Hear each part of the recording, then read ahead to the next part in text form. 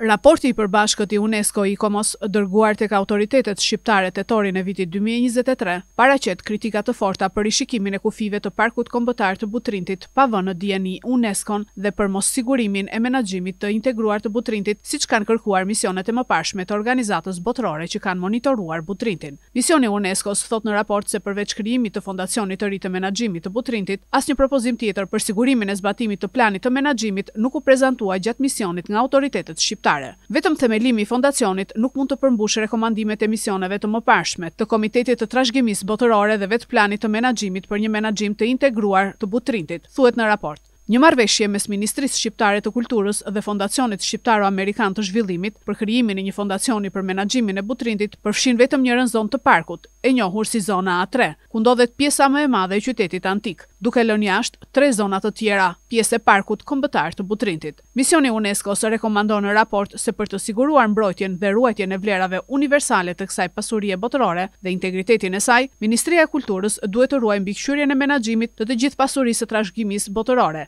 jo vetëm të një pjese të saj. Misioni thotë në raport se konfirmoi heqjen së fundmi nga Parku Kombëtar i Butrintit të rreth gjashtëqind hektarëve nga zona B, afër Ksamilit, ku aktualisht është në ndërtim e sipër një kompleks turistik rezidencial. Sipas misionit, heqja e gjashtëqind hektarëve nga Parku Kombëtar nuk është njoftuar në qendrën e trashëgimisë botërore dhe përfaqëson një ndryshim në regjimin mbrojtës të një pjese të ndjeshme të zonës tampon dhe ndoshta të një pjese të vogël të pronës së trashëgimisë botërore që tani shtrihet jashtë kufijve të Parkut Kombëtar. Misioni ka bërë të njohur autoriteteve shqiptare se pret një kërkesë zyrtare pranë UNESCO-s për këtë ndryshim të ndërmarrë nga qeveria shqiptare pa dijeninë e organizatës. Misioni u ka kërkuar autoriteteve shqiptare si çështje urgjente, që t'i sqarojnë qendrës së trashëgimisë botërore se cilat janë masat e mbrojtjes aktualisht për të gjithë pronën e trashëgimisë botërore që përfshihet në Parkun e Butrintit dhe zonën e saj tampon brenda kufijve të parkut. Qeveria shqiptare ka vendosur që menaxhimi i Parkut Kombëtar të Butrintit të kryhet nga një fondacion i krijuar nga Ministria e Kulturës dhe Fondacioni Shqiptaro-Amerikan i Zhvillimit për një afat dhjetë vjeçar me të drejtë ripërtëritje. Ligji u miratua nga Kuvendi në maj të vitit dy mijë e njëzet e dy